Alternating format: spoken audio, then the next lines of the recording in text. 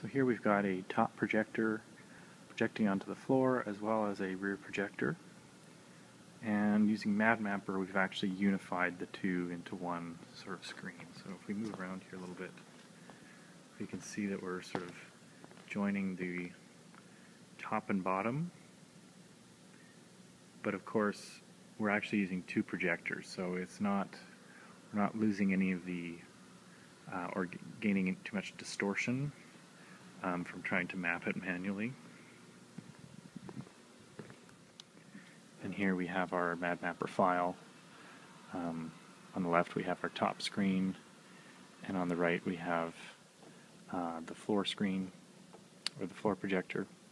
And we've just got our top and bottom of the source image.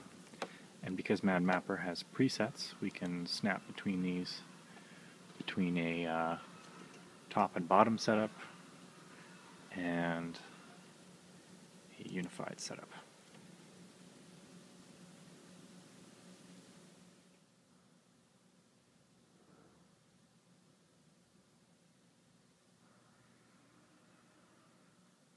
Okay, hit the lights.